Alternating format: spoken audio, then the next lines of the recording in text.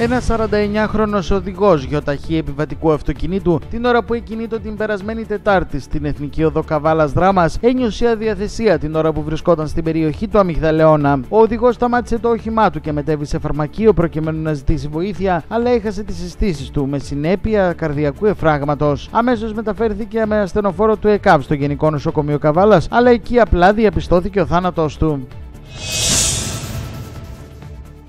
Συνελήφθη στην Καβάλα από αστυνομικούς του τμήματος ασφαλείας Ξάνθης 43χρονο αλλοδαπό υπηκός Βουλγαρίας, κατηγορούμενος για πώληση ναρκωτικών, ενώ σχηματίστηκε δικογραφία που περιλαμβάνει ακόμα δύο δράστες υπήκοους Βουλγαρίας. Ειδικότερα κατά τη διάρκεια οργανωμένης αστυνομικής επιχείρησης συνελήφθη 43χρονο, διότι επιχείρησε να πουλήσει σε αστυνομικό που εμφανίστηκε ως υποψήφιος αγοραστής 5 κιλά κατέργαστη κάναβης, την οποία είχε αποκρύψει σε σκάφος στο λιμάνι της Καβάλας. Στο εσωτερικό του σκάφος, καθώς και στην κατοχή του δράστη, βρέθηκαν και κατασχέθηκαν 21 συσκευασίες με κατεργαστή κάναβη συνολικού βάρους 5.110,1 γραμμαρίων. Στο πλαίσιο της επιχείρησης, η αστυνομική με τη συνδρομή των λιμενικών του κεντρικού λιμεναρχείου Καβάλας και σκύλο ανείχνευση ναρκωτικών πραγματοποίησαν έρευνα στο σπίτι όπου διέμενε ο ιδιοκτήτης του σκάφου, επίσης υπηκός Βουλγαρίας, μαζί με έναν 48χρονο ομοεθνή του. Κατά τη διάρκεια της έρευνας βρέθηκαν και κατασχέθηκαν 4 συσκευασίες ακατέργαστη κάναβης συνολικού βάρους 125,9 γραμμαρίων, ενώ οι δύο δράστε δεν εντοπίστηκαν και αναζητούν